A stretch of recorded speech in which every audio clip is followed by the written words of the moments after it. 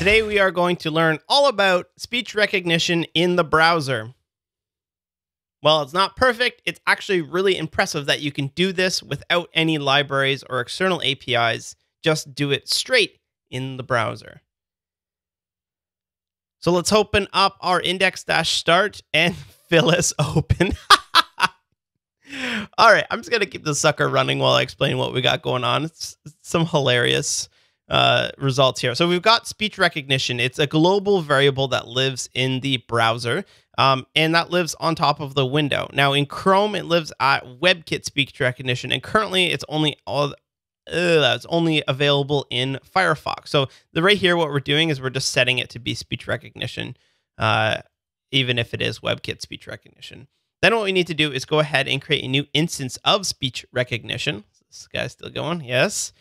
So we will say const recognition equals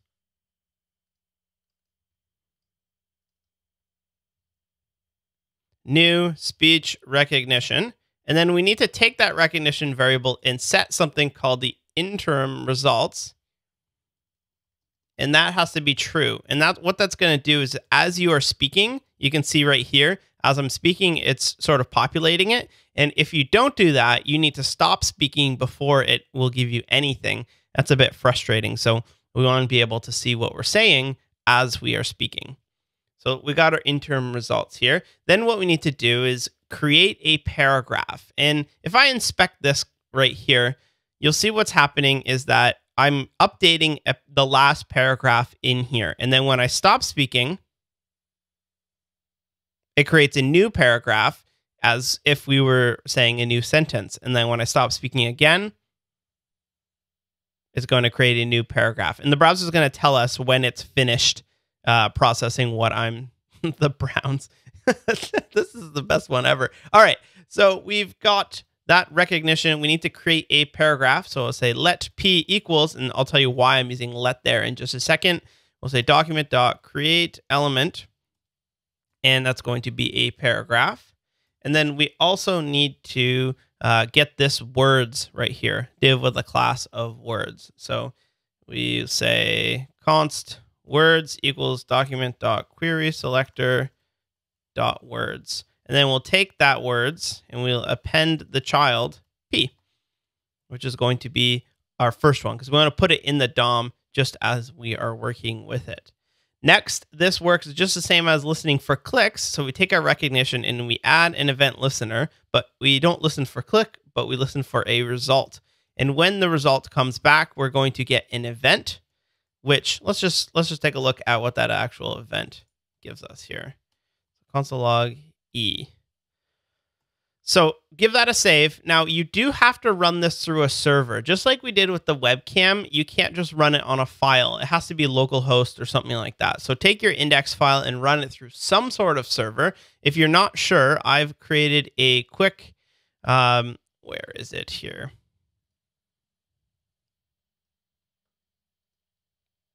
I've created a quick little server for you here in the speech detection folder. All you need to do is type npm install. And then when that's installed, you type npm start.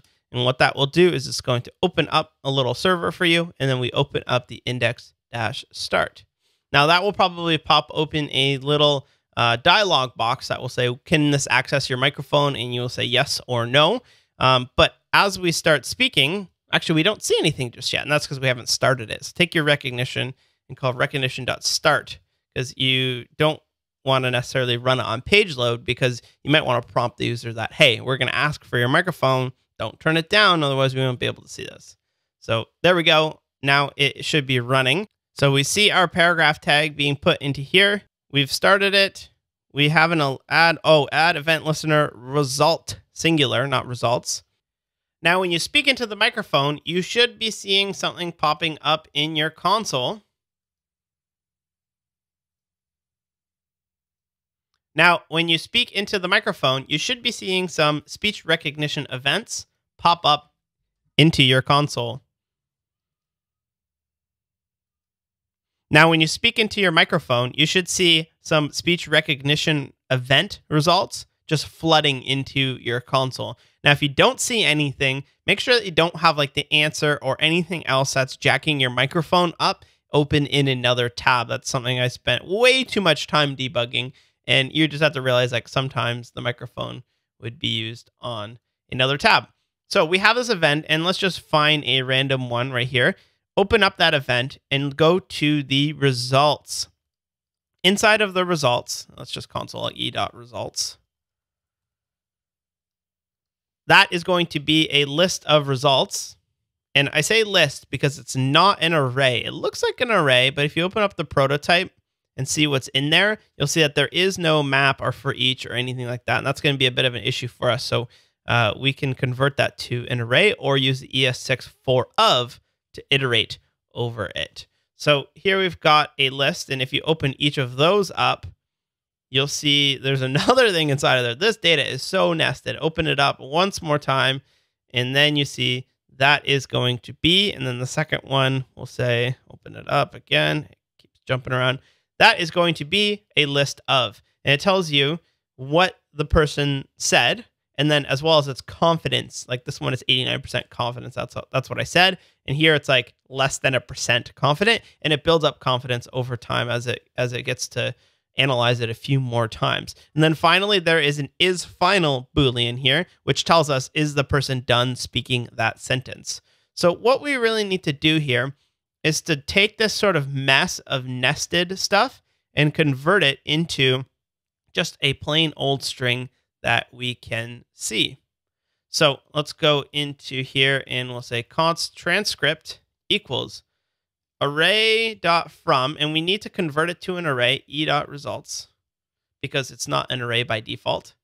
And then we're going to just map over each of them and then just turn it from one thing to another. So first thing I want to do is just grab uh, the first thing from each of them because this is the list.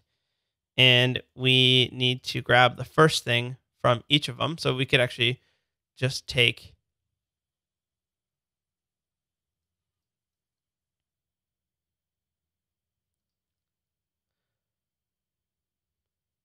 So we are going to map over it and take the first thing that we have there. So I'm going to put this on its own line and we're going to map the result is going to return the result square bracket zero because that's the first thing that is there. And then if we console log the transcript, let's see what we've got.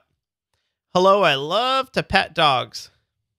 Okay, let's see, open it up. Some of them are going to be two things. Like this one will tell me that hello, I love. And the second thing that it gives us, it's so nested, the pet dog. And then I'm sure that it would correct it as we go along. So good. And then we need to map over that once more and gra- return the result dot transcript. Hello, I love to pet dogs. There we go. Look at what we've got here. We've got arrays coming in. I'm going to run it one more time. Hello, I love Walmart. there we go. Sometimes, LOL. How did it know that I was actually laughing out loud? That's amazing. Um, I've got an array of the different pieces that it thinks I said. So what we need to do finally is join those two pieces together because we don't want two strings or three strings or one string. We want one big string. So join at the end. I'm going to take this console log out. Now when I say something, now, when I say something,